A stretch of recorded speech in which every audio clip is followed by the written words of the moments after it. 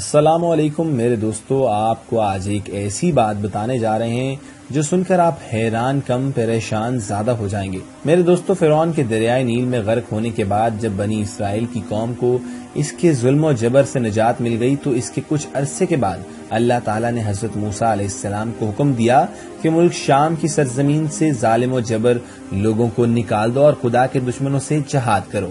اور اپنی قوم میں سے بارہ افراد کو بنی اسرائیل کے بارہ قبیلوں پر سردار مقرر کر دو، تاکہ یہ سب اپنے سرداروں کے تابع رہیں اور اللہ کے احکام کی پابندی کریں۔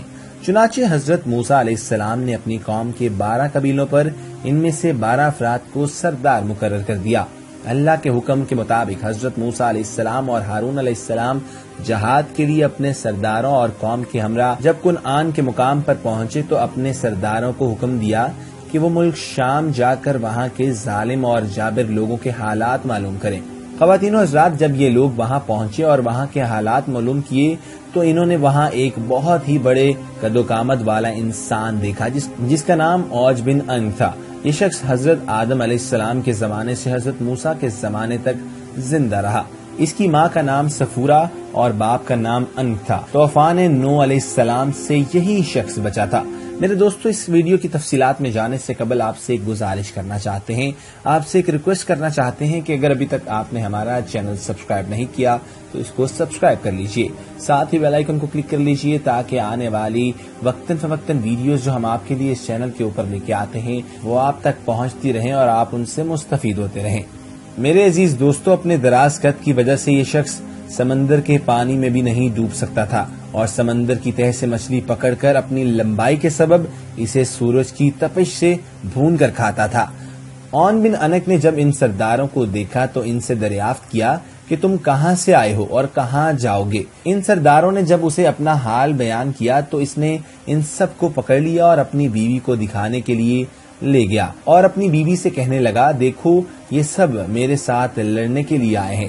اور یہاں تک کہ انہیں زمین پر ڈال دیا اور چاہا کہ چونٹی کی طرح پیر سے مل دے۔ لیکن یہاں پر اس کی بیوی کو ترس آ گیا اور اس کی بیوی نے کہا، ان کو چھوڑ دو، یہ کمزور اور ناتما میں خود چلے جائیں گے۔ تجھ کو انہیں مارنے سے کیا فائدہ حاصل ہوگا؟ چنانچہ یہ سردار ظالموں اور جابروں کی کثرت سے بہت زیادہ ڈر گئے۔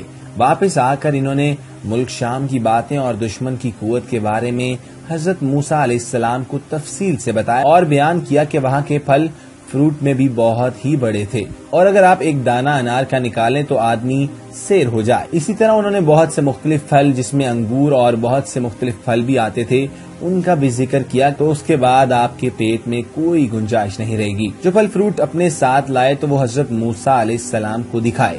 حضرت موسا علیہ السلام نے ان سے کہا کہ اپنی قوم کے لوگوں کو، شام کے لوگوں اور ان کی قوت کے بارے میں کچھ بیان مت کرنا، کیونکہ یہ لوگ تو پہلے ہی بزدل ہیں اور جہاد سے بھاگ جائیں گے۔ آپ علیہ السلام کے اس حکم پر ان بارہ سرداروں میں سے صرف دو سردار اپنے وعدے پر قائم رہے۔ ان میں سے دس سرداروں نے عہد شکنی کی اور قوم کے افراد کو وہاں کا سارا احوال جو وہاں دیکھا تھا بیان کر دیا۔ اور اون بن انک کے ہاتھ پکڑے جانے والے واقعے سے بھی سب کو آگاہ کر دیا۔ جب قوم نے اس دشمن کی قوت کے بارے میں سنا تو ہراسا ہو کر جہاد پر جانے سے کترانے لگے اور مصر واپس جانے کی تیاری میں لگ گئے۔ حضرت موسا علیہ السلام نے فرمایا، اے لوگو، تم مت گھبراؤ اور جہاد سے بھاگنے کی کوشش نہ کرو۔ میرے ساتھ اللہ تعالیٰ نے وعدہ فرمایا ہے کہ تمہیں ان کافروں پر فتح دوں گا۔ تو قوم نے یہاں پر حضرت موسا علیہ السلام سے کہا کہ وہاں پر تو ایک شخص ہے جو بہت بڑی قدوکامت والا ہے اور بڑا ہی زبردست ہے۔ ہم ہرگز وہاں نہیں جائیں گے جب تک وہ شخص وہاں پر موجود ہے۔ وہ دونوں سردار یوسا بن نون اور کلود بن کتا جو اپنے وعدے پر قائم رہے تھے، قوم سے کہنے لگے کہ اے قوم، ٹھہر جاؤ اور ان پر حملہ کرو، اللہ تعالیٰ تم کو فتح دے گا۔ اور حضرت موسا علیہ السلام نے وعدہ کیا ہے کہ اللہ تعالیٰ ان کو ضرور ہلاک کرے گا۔ اور جس طرح فرعون کو ہلاک کیا تھا جب تم لوگ اللہ پر یقین رکھتے ہو تو اس پر بھروسہ کیوں نہیں کرتے؟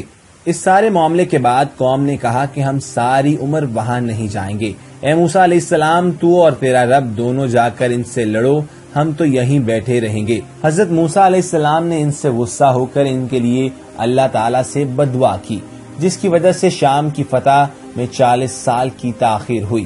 اس مدت میں بنی اسرائیل کے نافرمان لوگ جنگلوں میں بھٹکتے رہے۔ القصہ حضرت موسا علیہ السلام اور ہارون علیہ السلام اپنے غذا کو ساتھ لے کر ملک شام جہاد کے لیے روانہ ہوئے اور جب رات ہوئی تو بنی اسرائیل نے واپس مصر جانے کا ارادہ کر لیا۔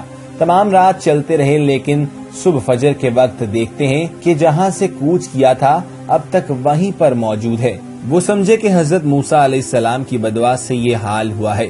تب یوشا بن نو نے ان سے کہا کہ اس میدان میں ٹھہر جاؤ اور صبر کرو اور استغفار پڑھو جب تک حضرت موسا علیہ السلام شام فتح کر کے واپس نہ آ جائیں۔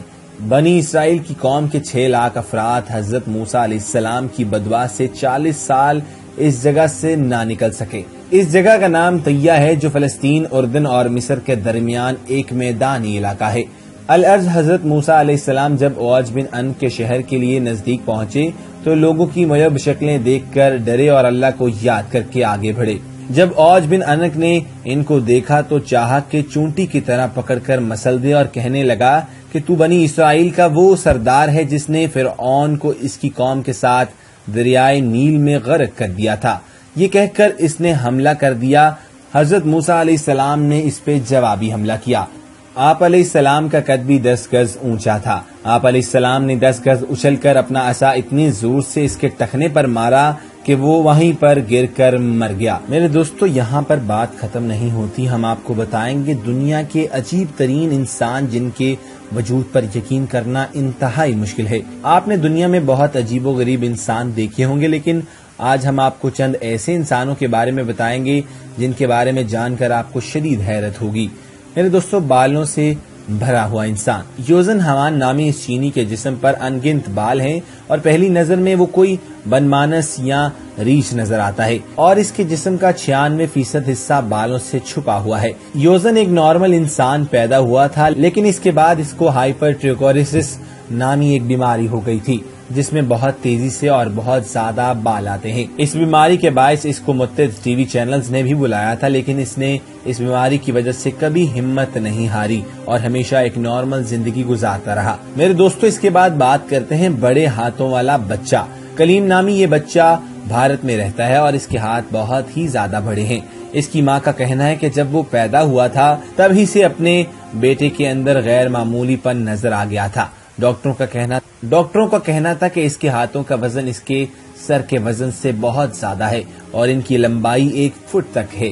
بڑے ہاتھوں کی وجہ سے وہ روز مرہ کے کام کرنے میں بہت دقت محسوس کرتا ہے۔ یہاں تک کہ وہ اپنے جوتوں کے تسمے بھی نہیں باندھ پاتا۔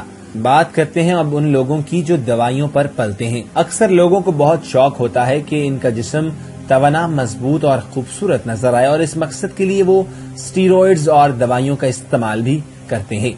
حالانکہ تحقیق سے ثابت ہو چکا ہے کہ ایسی تمام دوائیاں انسانی صحت کے لیے انتہائی مضر ہیں، لیکن پھر بھی یہ لوگ باز نہیں آتے اور ان ادویات کا استعمال اپنی روزمرہ زندگی میں کرتے رہتے ہیں۔ خواتین و حضرات اب بات کریں گے جسم میں سوراخوں والے انسان کے بارے میں۔ ناک، کان یا جسم کے کوئی اور حصے میں چھید کروانا ایک عام سی بات ہے، لیکن دنیا میں ایک ایسا شخص بھی ہے جس نے اپنے جسم میں ہر جگہ چھید کروا رکھا ہے۔ رولف بچلز نامی اس شخص نے اپنے جسم میں چار سو ترپن چھید کروا رکھے ہیں۔ اسے دیکھتے ہی انسان حیرت میں ڈوب جاتا ہے، جس کی وجہ سے اس کے ہونٹوں کے گرد چورانوے اور ناک میں آٹھ چھید ہیں۔ میرے دوستو، آخر میں آپ کو بتاتے ہیں ایک ایسے انسان کے بارے میں جس کا چہرہ نیلا ہے۔ آپ نے کارٹون سمرف کے بارے میں تو سن رکھا ہوگا، جس میں نیلے رنگ کی مخلوق دکھائی دیتی ہے۔ لیکن دنیا میں ایک ایسے رنگ کا انسان موجود ہے۔ بال نامی اس شخص کو دس سال قبل چہرے پر کوئی انفیکشن کی تکلیف تھی اور اس کے تدراک کے لیے اس نے سلور سے کوئی دوائی بنائی۔ اس دوائی کے استعمال کے بعد اس کا چہرہ نیلا ہو چکا ہے اور اب یہ ٹھیک نہیں ہو سکتا۔ اس کا واحد علاج کم سے کم سورج کا سامنا کرنا ہے۔ خواتین حضرات، اس ویڈیو سے متعلق آپ اپنی رائے کا بھی اظہار کر سکتے ہیں۔ ہمارے کمنٹ سیکشن میں اپنی رائے اور تجاویز کا ضرور اظہار کریے گا۔ کیونکہ آپ کی رائے اور تجاویز ہمارے لیے بہت اہمیت کی حامل ہے۔ آپ ہمارے ویڈیوز کو سبسکرائب کیجیے، لائکس کیجیے اور اپنے اہل و احباب کے ساتھ اس ویڈیو کو ضرور شیئر کریے گا۔ میرے دوستو، یہاں پر میں اپنی ویڈیو کا اختتام کرتا ہوں اور امید کرتا ہوں کہ آپ کو یہ ویڈیو بےحد پسند آئی ہوگی۔ میرے دوستو، آخر میں آپ سے گزارش بھی کرنا چاہوں گا کہ اگر ابھی تک آپ نے ہمارا چینل سبسکرائب نہیں کیا تو اس کو سبسکرائب کر لیجیے۔ بیل آئیکن کو دبا کر ہمارے چینل کا حصہ بن جائیے۔ تاکہ آنے والی وقتاً فوقتاً جو اسلامک انفارمیٹو اور اس طرح کی معلوماتی ویڈیوز آپ تک پہنچاتے رہیں اور آپ ان سے مستفید ہوتے رہیں۔ اللہ حافظ۔